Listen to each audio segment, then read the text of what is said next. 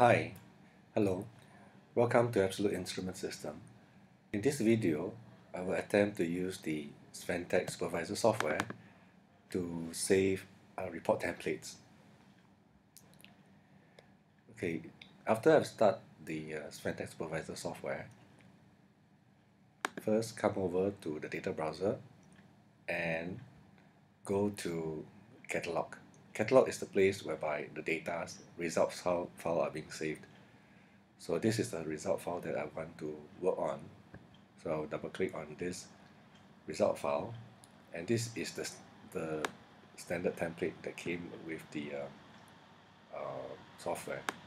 So I have session header, instruments configuration as well as logger results.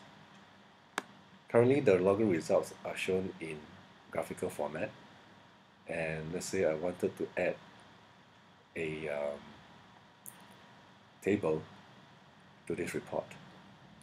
So in order to add table to this report, I'm going to add a panel over here, double click on logger results. And now I have two graphical display. So what I want is not to graphical display, but to display a table. So if I click on this, I will convert the graphical display into a table so in my report, I have session header, instruments configuration, logger results. The first one is based on the graph, and then logger results. The second one is based on um, table. If this is the if this is the um, uh, template that I want that I want, I have session header, instruments configuration, logger result graph as well as table. I'm ready to save this template. Save template. So let's call this sound level sound report template one. Okay, save.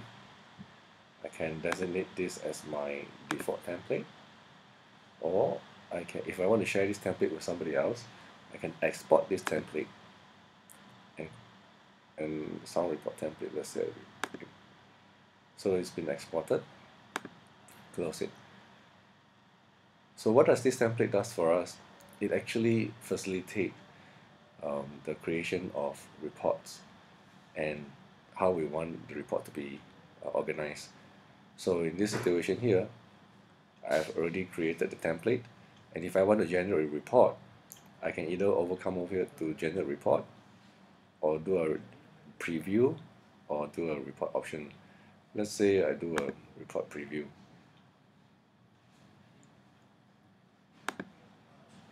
So this will be the preview of the report. I have the information. It's all displayed. So I can save this document file. Do you want to save it? No, that's, that's a review.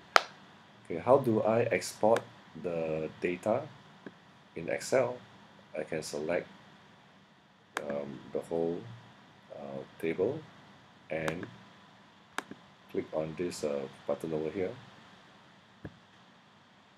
and I would have this um,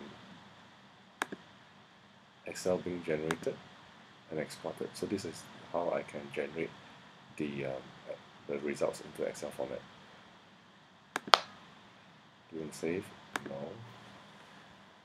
and that's it. Um, well, one thing I forgot to mention when I have logger results I can choose um, what are the um, things that I would like to have it displayed. Let's say I do not want to display maximum I don't want to display peak I can do that. Don't display maximum don't display peak. Uh, I can save this format this um, this this list let's say by coming over here save view settings and LEQ only. Say okay.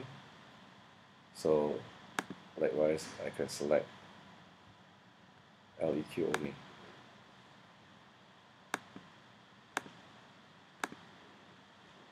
Okay. Sometimes you may not have these uh, options uh, displaying on the right hand side we can choose to hide it or we can choose to display it.